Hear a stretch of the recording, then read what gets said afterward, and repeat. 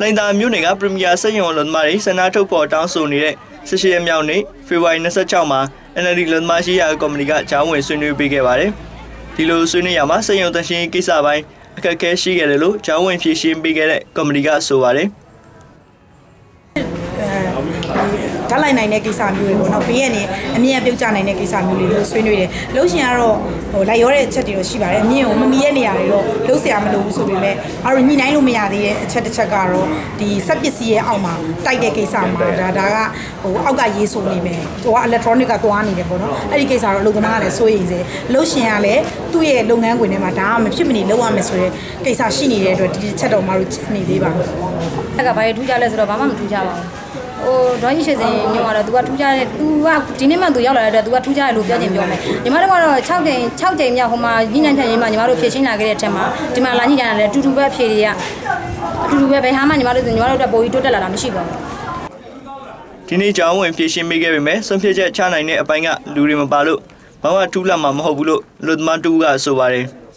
တန့်ရှင်းညီမတို့လောက်ပါတယ်ဟုတ်တယ်ညီမတို့လောက်ပါတယ်အဲ့ဟိုဗာလဲတတော်ရည်တွေနဲ့တတော်ရည်တွေနဲ့လည်းညီမတို့လောက်ပါတယ်နောက်ပြီးတော့လေကားရည်နဲ့တက်ပြီးတော့ဟိုတုတ်လောက်ပါတယ်အဲ့ဒါတွေအများကြီးလောက်ပါတယ်ဟာကိုသူတို့ညီမတို့ကပြန်တောင်းဆိုတာကအချောက်တန့်ရှင်းခိုင်းမလားအချောက်တန့်ရှင်းတစ်ခုရယ်နောက်တော့တနေ့လာနေ့ကနေစနေနေ့ထိကိုတန့်ရှင်းမလို့ပေါ့တိုင်းခွင့်နေကြမှာအဲ့ဒီတန့်ရှင်းကိုခိုင်းမလားအဲ့လိုမျိုးတစ်ခုကိုသူတို့မေးတယ်ဒါပေမဲ့သူတို့လည်းဒီနေ့တခါတည်းညီမတို့အဖြစ်ပြန်မပေးဝနိုင်ကော်မတီဘက်ကဝန်ထမ်းရေးတာဝန်ရှိသူကတော့တန်ရှင်းနဲ့ပတ်သက်ပြီးအလုပ်ဝင်တွေကသဘောတူထားတယ်လို့ပြောပါတယ်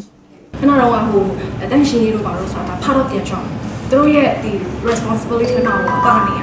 အဲ့တော့အမတို့ဒီ food factory ဖြစ်တဲ့အတွက်အမတို့ဒီ basic ပေါ့နော်ဒီ tension ရေးဆိုတာကအမတို့ဒီ basic ဒီ food factory ရဲ့ needs တွေမှာပါတယ် requirement တွေမှာပါတယ်အဲ့တော့အဲ့ဒါတွေပဲသူတို့လုပ်ရတာအမတို့ဒီလိုမျိုး